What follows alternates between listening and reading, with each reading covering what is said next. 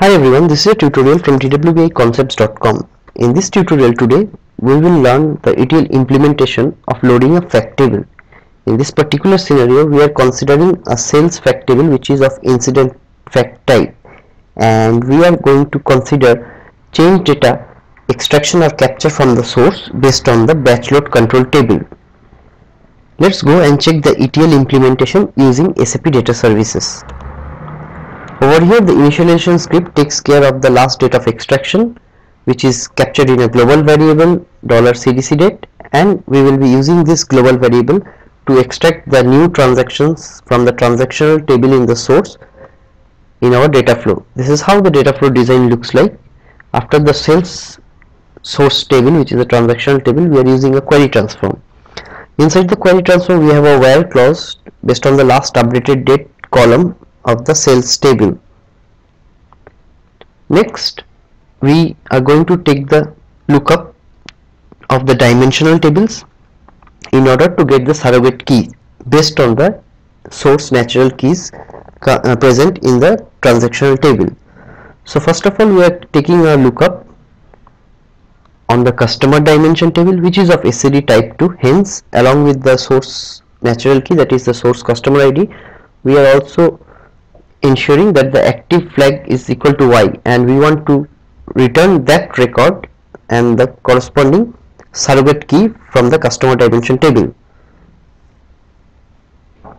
Next we are performing another lookup function call on the product dimension table based on the source product key and we are in return we are taking the product key which is the surrogate key from the dimension table and finally based on the sales date we are looking up the dimension date dimension table and correspondingly we are returning the date key from the date dimension.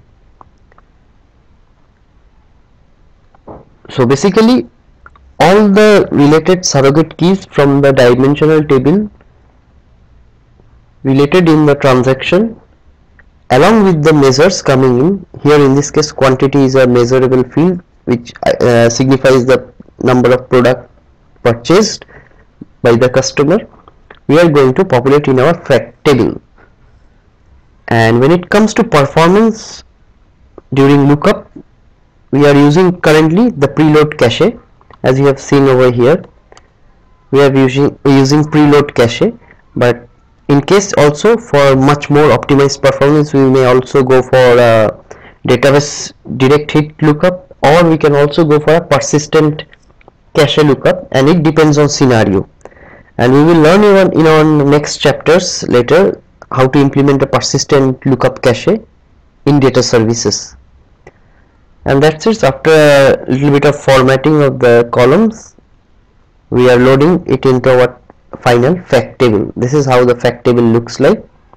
And we are using the basic error handling using uh, overflow file. So in case during insertion if there is any rejection that happened in the during the fact table loading it will be captured in our overflow file.